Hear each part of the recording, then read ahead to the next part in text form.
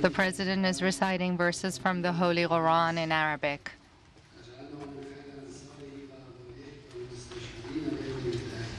O God, hasten the arrival of Imam al Mahdi and grant him good health and victory, and make us his followers and those who attest to his rightfulness. Distinguished Dean, dear professors and students, ladies and gentlemen, at the outset, I would like to extend my greetings to all of you. I'm grateful to the Almighty God for providing me with the opportunity to be in an academic environment.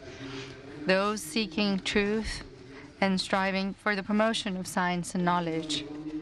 At the outset, I want to complain a bit from the person who read this political statement against me. In Iran, tradition requires that when we demand a person to invite as a ta- uh, to, to be a speaker, we actually respect our students and the professors by allowing them to make their own judgment.